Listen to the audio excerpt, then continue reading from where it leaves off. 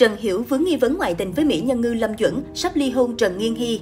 Showbiz hoa ngữ quả nhiên không thể yên ắng quá 3 ngày. Ngày 1 tháng 11, cư dân mạng Trung Quốc xôn xao tin sao Nam Hàng A đã có gia đình, ngoại tình với bạn diễn nữ. Cả hai đều có tên hai chữ.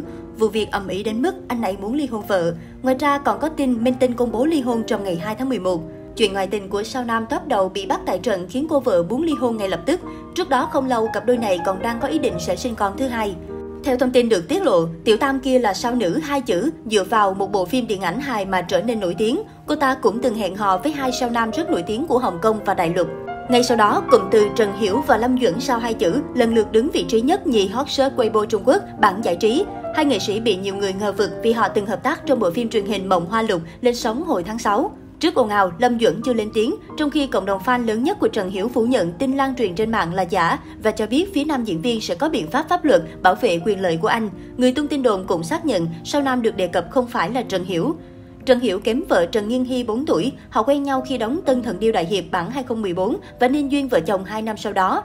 Cặp sau có con trai 6 tuổi tên Tiểu Tinh Tinh và luôn dành lời mật ngọt cho đối phương khi chia sẻ về hôn nhân. Trả lời phỏng vấn, Trần Nghiên Hy khen chồng là người đàn ông hiền lành, chu đáo, yêu chiều vợ hết mực. Anh thường massage cho vợ, giúp cô chăm con, dọn dẹp nhà cửa. Với Trần Hiểu, anh tôn trọng và dồn hết tình yêu cho vợ con. Nam diễn viên nói dù bận rộn công việc, hai vợ chồng vẫn cố gắng sắp xếp ở bên nhau. Nổi tiếng với hôn nhân ngọt ngào, nhưng vợ chồng Trần Hiểu vướng không ít thị phi. Giai đoạn 2019-2020, cặp sao liên tục vướng tin rằng nước tình cảm.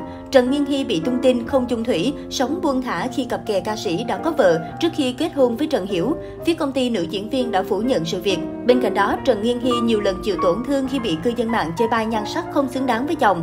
Trần Hiểu thường được ghép đôi với các đồng nghiệp nổi tiếng, tài sắc trong showbiz như Triệu Lệ Dĩnh, Lưu Diệc Phi.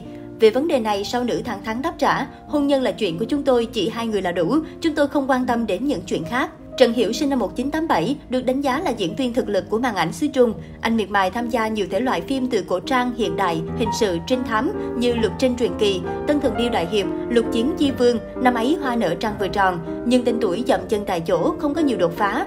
Chỉ đến dự án Mộng Hoa Lục, vai Cố Thiên Phạm đóng cùng Lưu Diệc Phi, sự nghiệp của anh mới thực sự khởi sắc. Trần Nghiên Hy sinh năm 1983, cô nổi tiếng nhờ vai Thẩm Giai Nghi trong You Are the Apple of My Eye và Tiểu Long Nữ trong phim Tân Thần Điêu Đại Hiệp bản 2014.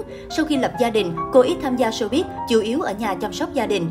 Lâm Duẩn sinh năm 1996 tại Chiết Giang, Trung Quốc. Tên tuổi của nữ diễn viên vụt sáng khi được Châu Tinh Trì mời đóng chính trong bộ phim Mỹ Nhân Ngư 2016.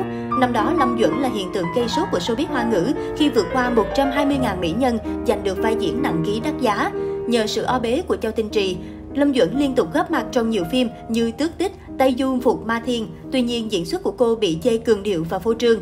Kể từ khi ra mắt đến nay, người đẹp thường xuyên lên báo nhờ vào chuyện tình ái thay vì kỹ năng diễn xuất. Cô được cho là từng hẹn hò Phùng Thiệu Phong, Vương Đại Lục, Tống Uy Long. Gần đây nhất, cô vướng nghi án sống chung cùng nam ca sĩ Nhan Nhân Trung.